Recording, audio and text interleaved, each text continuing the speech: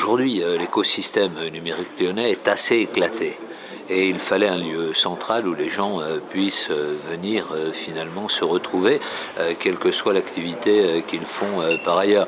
Vous voyez, vous avez des gens qui sont installés à Vez, d'autres à la Pardieu, d'autres à Villeurbanne, et il fallait un lieu phare.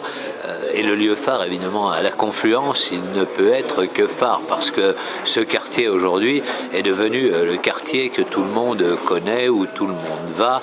C'est devenu un des quartiers emblématiques du Lyon moderne du lion qui bouge, du lion qui va de l'avant.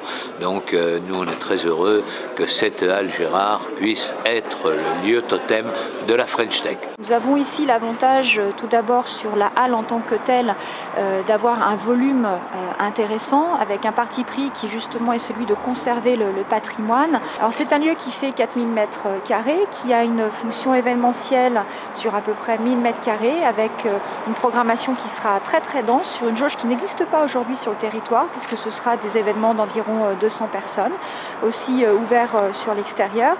Sur les 3000 m2 de, de tertiaire, on aura des programmes qui vont gérer du flux d'entrepreneurs.